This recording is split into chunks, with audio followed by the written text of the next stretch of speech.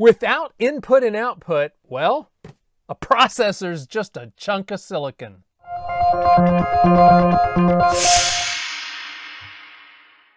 So what constitutes I.O.? At a minimum, you could have a push button and an LED, right?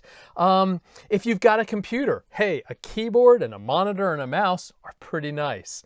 Having a game console, well, a nice big monitor, some speakers, and a controller are really helpful.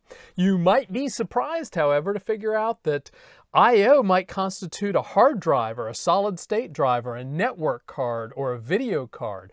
All of these things are considered I.O. from the processor's point of view. How does the processor communicate with this I.O. though? Well, in episodes 69 and 70, we did talk about something called, well, the memory bus. And the memory bus had three components to it. So coming out of the processor, so you have a microprocessor here. You have a bidirectional set of wires, both directions going into and out of the processor that carried data. And then in order to point to a specific address that the data was contained at, we also had a set of wires coming out of the processor that contained address. And then we also had a set of wires coming out of the processor, should have made my processor a little bigger here, that provided control. Now, the control, that, that was a little bit more difficult to explain. We had some wires that, that controlled whether we were reading data or whether we were writing data. So there was an R bar, which was an active low signal, that if it was zero, that meant that we were bringing data in to the processor from memory. Then there was W bar, write bar, which was an active low signal that said that we were writing to memory. And there are other signals such as clock signals. So how did that act with memory? How did that, how did that pertain to memory? Well, we also presented this thing called a memory map. Now, a memory map was actually, well, a map of all the elements or all the addresses in the range that was possible to be addressed by the processor.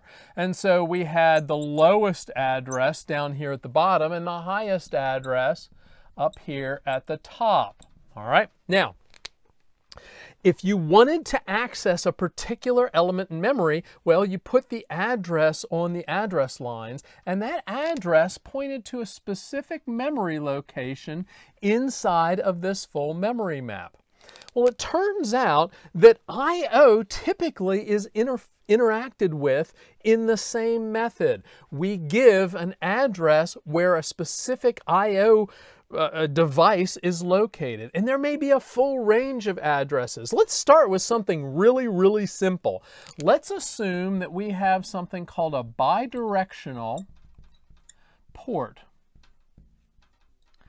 And it's just 8 bits, so I'll just say 8-bit bidirectional port. And so coming out of the out of this port, so there's a piece of hardware which allows us to either output 8 bits or input 8 bits or some combination of that.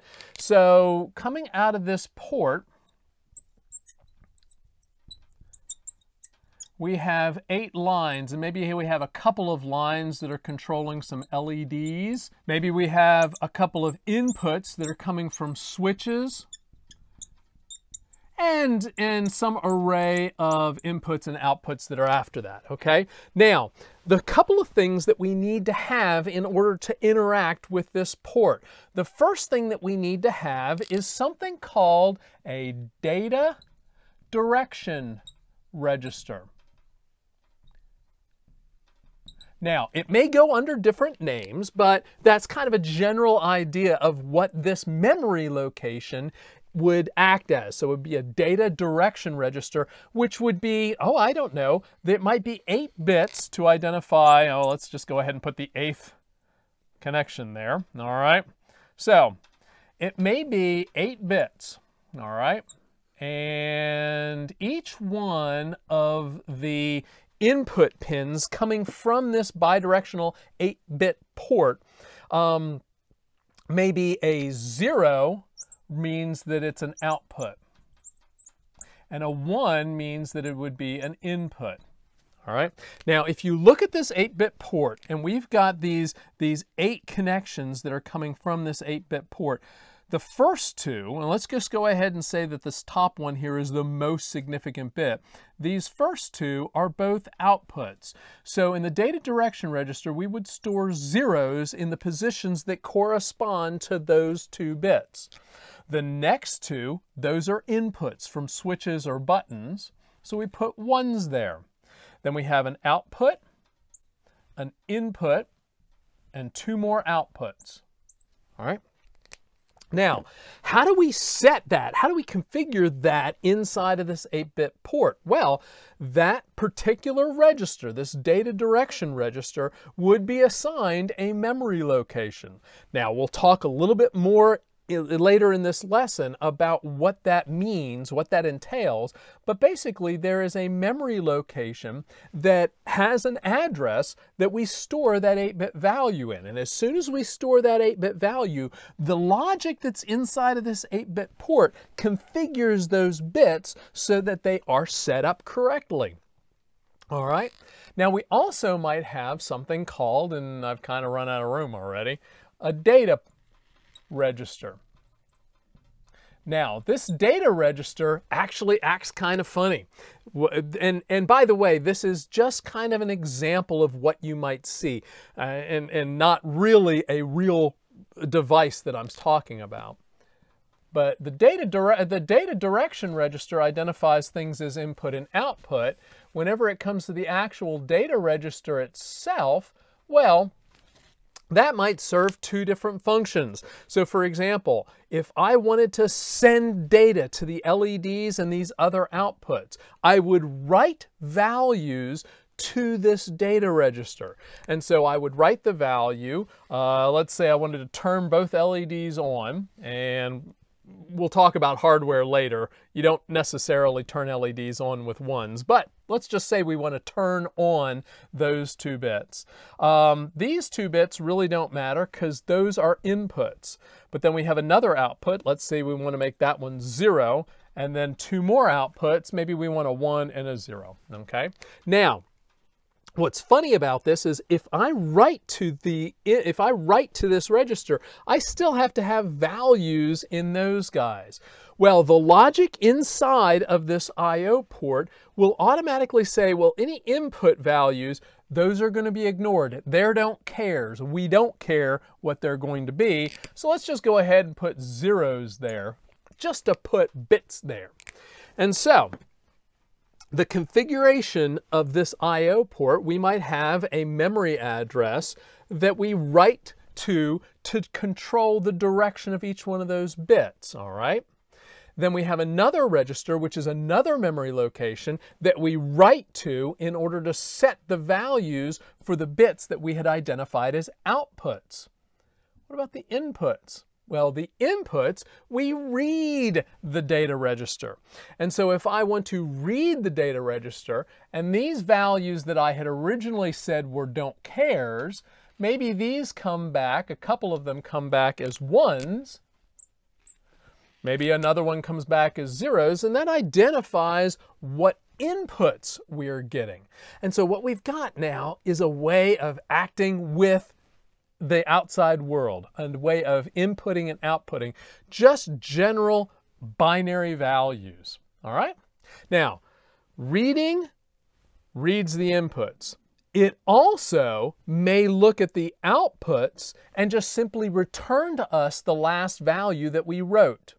So reading, yeah, you actually have two functions there. We can read the inputs and read the last value written to the outputs and then the data direction register would control the direction.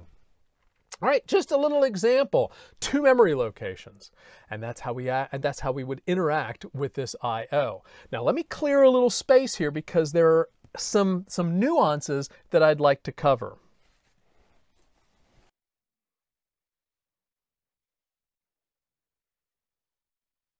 Now, there are three ways that we can create this interface between the processor and this, these I.O. devices. First of all, we have something called isolated I.O. Now, isolated I.O. means that the, the memory, and when I talk about the memory, I'm talking about the interaction that the processor has with its stored values out in main memory. Memory and I.O. are in separate um, separate memory spaces or address spaces. Now there are two ways that this could be implemented. So let's talk about the methods of implementation. All right, first of all, we could have a separate set of, of everything. So separate set of data, address, and control lines. All right, so now think about this because we have, first of all, an enormous number of address and data lines already coming out of the processor to interact with memory.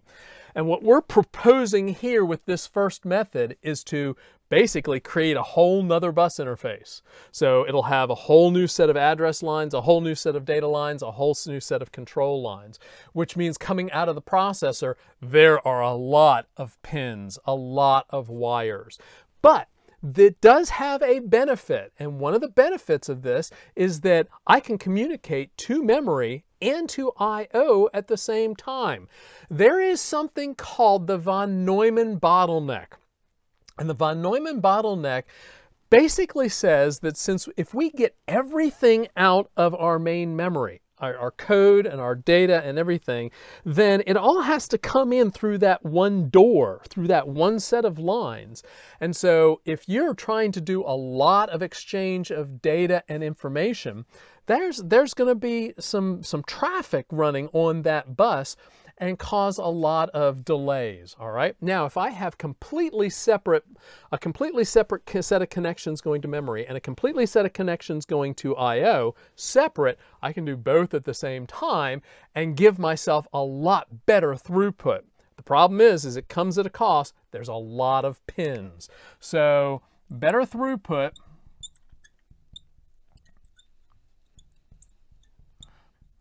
but a lot of pins or connections, right? Let's talk about the second way. The second way says we are going to share data and address with memory. All right, so the same set of wires, and this was really the bulk of the connections, right? The address lines and the data lines. So this means that we are going to communicate with memory and with I.O. across those same address and data lines. But what we're going to have is separate control. And what this does is it makes it so that I have two memory maps. So once again, memory and I.O. are in separate address spaces. So I have one memory map that just has memory, and then I have another memory map probably smaller because what it's going to do is not take advantage of all the address lines coming out of the processor, but it's going to have a separate set of control lines so that whenever we do reading and writing, that memory, the main memory, the memory map, is not going to hear any R bar or W bar. It's going to have a separate set of control lines that are going to interact with I.O. So, by having two memory maps, then you're not taking up space inside of the main memory map. You're not taking space up for your I.O. That gives you a little bit broader amount of space in term, uh, to work with in terms of memory. But in the case of sharing data and address lines, we, we've now got, you know, we don't have that throughput that we got with separate set of address lines and data lines with the first, the first method. Now, both of these methods, and I know we haven't talked about assembly language yet, but both of these methods require a separate set of commands to access the I.O. Now, by requiring a separate set of commands to access the I.O., um, the, the, the, the commands that we would use to interact with memory, those are reserved for communicating with the one main memory map, okay? Whereas the commands that are used for I.O., those are going to be used just to communicate with I.O. Now it's been a very long time since I've program, programmed on any of the Intel platforms, but you have two separate commands. For memory, you move things back and forth with a command called move. For the I.O., you communicate with an in and an out command. So memory communicates with move, in and out communicates with I.O. So they control this, the, the, separation. So they share, the, it shares the data and address with memory, but it has separate control lines. So the move command has some R has an R bar and W bar command of itself, or excuse me, control line of itself, whereas in and out had, I think it was IORC and IOWC, something like that. I may have those names quite not quite right. And those were active low. And so it was a completely set of different set of control lines in order to communicate with I.O. Also, so we, we had the shared uh, data and address coming out of the Intel processor, but it only it limited, the older ones specifically limited the number of address lines that were used. Let's talk about a third one um, after I make some room on this board.